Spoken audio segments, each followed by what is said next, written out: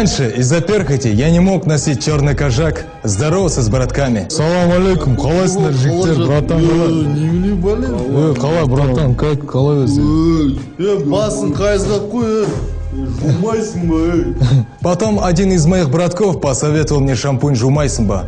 После первого применения я увидел результат. И теперь я могу спокойно здороваться с братками и радоваться жизни. Шампунь Жумайсмба. Скажи перхоти, көзіме көрінбейтін бол, е, түсіндің ба?